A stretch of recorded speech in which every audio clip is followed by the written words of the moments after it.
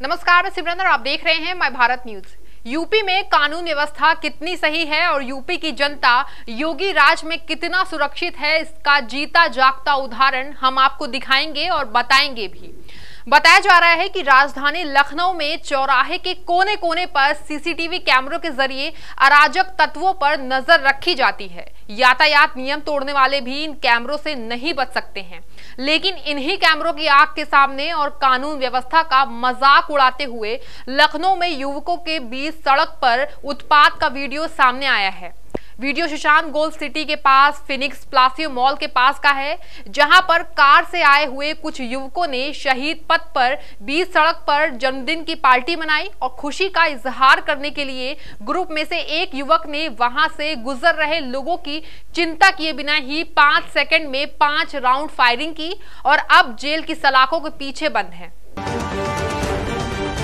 Video viral होने के बाद शुक्रवार देर रात पुलिस ने दो आरोपियों, मनीष और नीरज को गिरफ़्तार किया।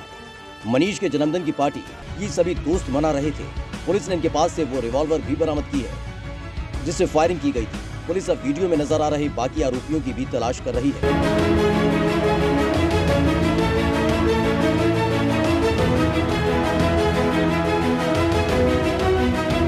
वीडियो वायरल होने के बाद लोगों ने लखनऊ कमिश्नरेट को टैग करते हुए इन रईस जादों पर कार्रवाई की मांग की थी।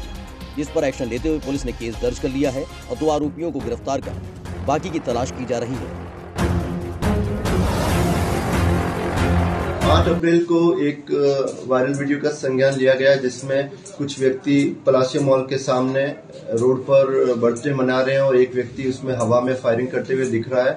इसमें तुरंत थाना सुशांत गोल्ड सिटी पर एक मुकदमा दर्ज किया गया और उनकी गिरफ्तारी के लिए टीमें गठित की गई है। इसमें दो व्यक्तियों की गिरफ्तारी हो चुकी है। एक नीरज सिंह जो हवा में फायर करते हुए दिख रहा है और एक मनीष तिवारी को अरेस्ट किया गया है, जिस, जिसका बर्थडे मनाया जा रहा था। इन दोनों अभियुक्तों को गिरफ़्तार कर कल न्यायालय के समक्ष प्रस्तुत किया जाएगा। अग्रिम कार्रवाई प्रचलित है।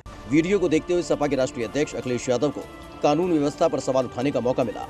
तो उन्होंने भी फायरिंग करते हुए इन युवकों का वीडियो ट्विटर पर ट्वीट करते हुए लिखा कि भाजपा 2.0 के राज में यूपी डूबा अपराध में। आज का अपराधनामा। लेकिन पुलिस ने अब जब फायरिंग करने वाले युवकों से पूछताछ की तो सामने आया कि फायरिंग कर रहा युवक राजाजीपुरम निवासी नीरज सिंह है, जो समाजवादी पार्टी का जिला सचिव रह चुका है।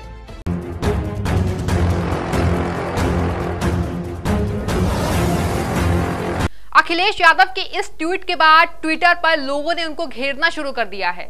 जिस अपराधी को दिखाकर वो भाजपा को घेर रहे थे, आखिर वो समाजवादी पार्टी से जुड़ा हुआ सदस्य निकला। फ़िलहाल पुलिस ने दोनों को गिरफ़्तार कर जेल भेज दिया है और पार्टी में शामिल अन्य युवकों की तलाश की जा रही है। फायरिंग में इस्तेमाल की गई रिवॉल्वर को भी पुलिस ने अपने कब्जे में ले लिया है। फ़िलहाल के लिए इतना ही। जुड़े रहे माई भारत न्यूज़ के साथ।